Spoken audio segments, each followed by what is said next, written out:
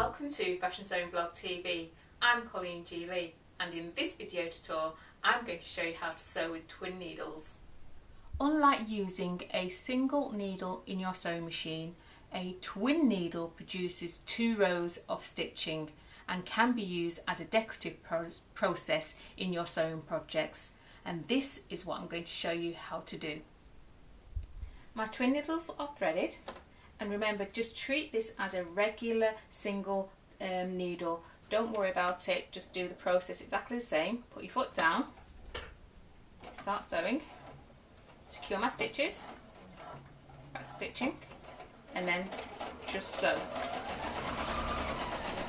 There we have two rows of stitching to the top of my fabric. On the underneath you have a zigzag effect Twin needles come in varying sizes, so do bear that in mind.